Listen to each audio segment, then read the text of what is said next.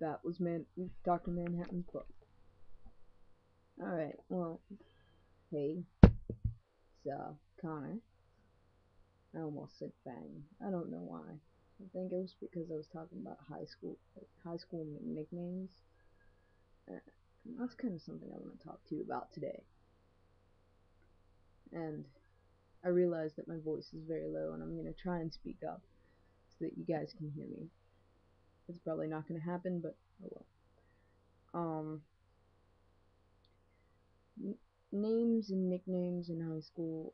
When I was was in high school, um, I still, you know, never felt quite right in my body. I was still on the swim team, you know, still wearing somewhat feminine clothing, but I didn't identify in a feminine fashion, I suppose. I think that's what you call it.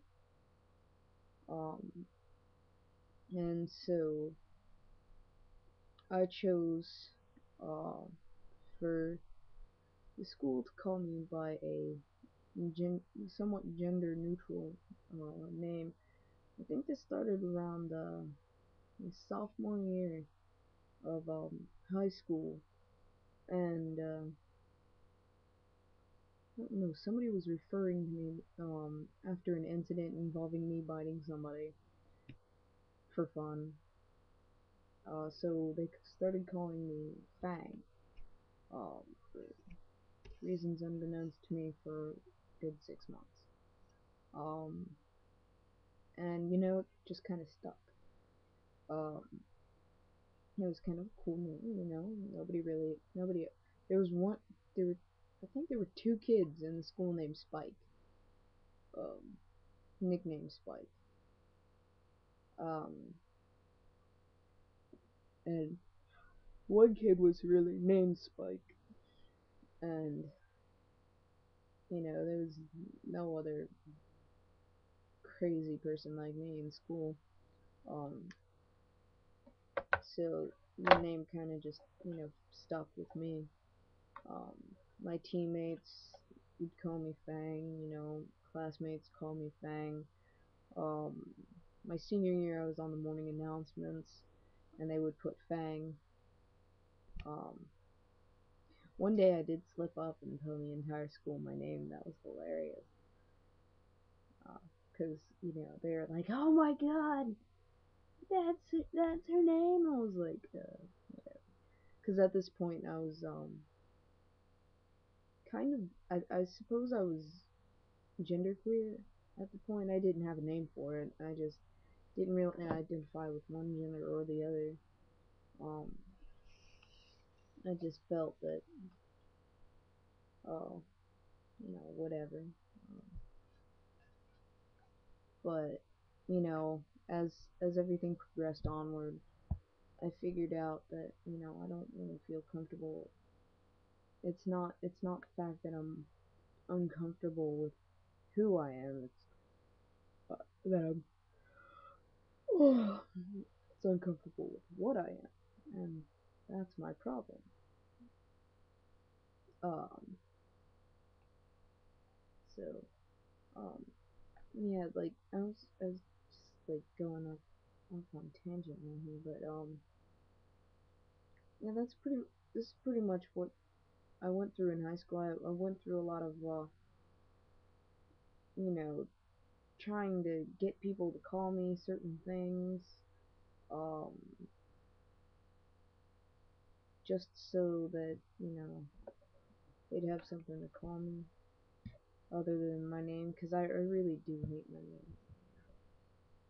Pisses me off when my parents say she whatever. I mean, but it's just to this point where I can't correct them, um, because they won't have anything to do with it until my name is officially changed, and uh, seeing as I can't do that until I get all my financial obligations, you know, done with, um, I'm not gonna really be anything more than a little girl to them. She really sucks. My brother was, see my brother, he's like, like kind of dense about some things. Like he knows, he knows about my situation and everything. But he, at work, all he says is my sister, my sister, my sister, so the guys that work with him at work and need a green card all want to chat me up. Not fun. Um, oh yeah, to nicknames. Yeah, but I don't know. I I really. I think I think that nickname really stuck with me. Like I'm hearing stories from my brother um, that it wasn't just my brother bringing me up in you know in high school now. It's it's his friends and um, teachers that would bring me up because I, apparently I made such a Im- imprint on the, uh, the daily lives of the student body that um, that you know stuff happened. I, I, I mean, I only showed up in the yearbook like once or twice, you know. Um, you know, it wasn't anything big, you know. Like, you know, what I showed up on the senior picture and maybe a club photo or something. but um, you know, everybody pretty much remembers me. Everybody who was there remembers me, and you know that's a kind of good feeling, I suppose. Um, albeit they remember me for the like crazy stuff that I used to do, like um, like I used to super glue my head to desks, super glue my hands, uh, super glue my mouth shut, my fingers together, um, objects to my forehead. Um, I used to like paint my face.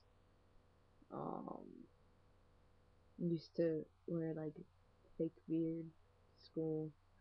Um, I really got in trouble with the goggles uh, one year,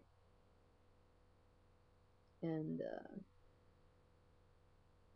I don't know, just making parody type parody like uh, comic strips.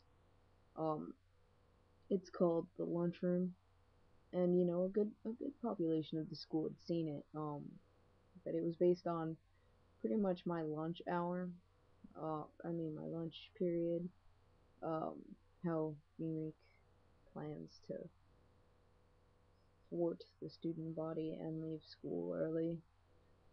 And, you know, we ended up at the end of the season killing off one of the uh, assistant principals, and I got sent to the counselor's office for that. And good thing I didn't get sent to, you know, home or get a referral or something. But you know, they they understood it was just all good fun. You know. Like, I mean, or else I wouldn't have made like the characters so realistic and the swords change sizes in every single panel. Like, I had something starting off. One second, I'll show you. It started off sword about this size, you know, pretty long sword, and then it grew like three times in length. So, uh, yeah, so that's pretty much it on the stupid things I did in high school, pretty much. Um, and you know, other rambling. So, yeah, um, that's about it. Uh, if you have any questions, comments, musings about times you saw me in high school and I did something stupid and I forgot to mention in it, in this video, um, please do send me a comment. Uh, I'm kind of tired, so I'm gonna go to sleep. I'll see you guys tomorrow.